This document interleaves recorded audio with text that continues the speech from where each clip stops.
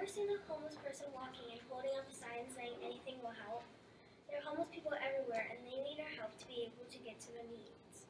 It's not fair that homeless people do not have anything. I think we should help homeless people because of these reasons. Homeless people do not have any food or water, something to keep them warm, and money.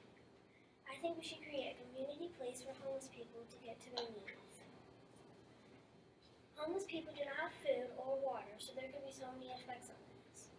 Without food or water, homeless people could starve and become dehydrated, and soon enough they could die because food and drinks are what keep you alive. I don't know if you've seen a homeless person eat out of the garbage, but I have. And garbages have a lot of diseases and bacteria in it, and that can go to the homeless person, and the homeless person can get very sick and will probably have to go to the hospital for it. So there is a cycle going on with what can happen to someone who eats out of the garbage. Diseases and bacteria are carried everywhere, especially garbages. The, hom- the reason homeless people do this is because they have no food, and the only place they can find food without having to pay money is out of the garbages. Though the garbages cans already have food to eat in, the homeless people will eat anything that is available, no matter what has happened to them. Homeless people don't have food and water, and they need something to survive on.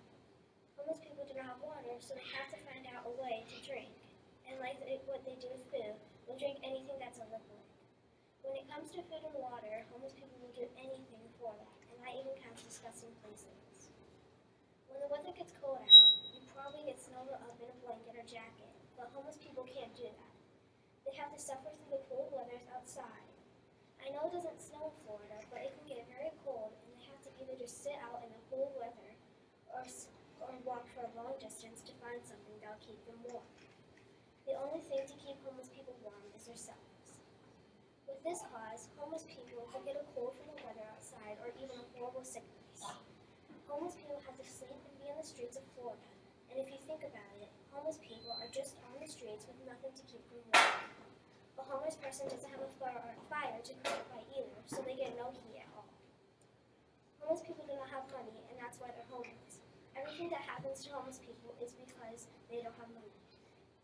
Starvation, dehydration, sicknesses, and diseases. This is all just from them getting their needs. From food. Homeless people get this when they have to get anything from food to clothes. We need to put a stop to this.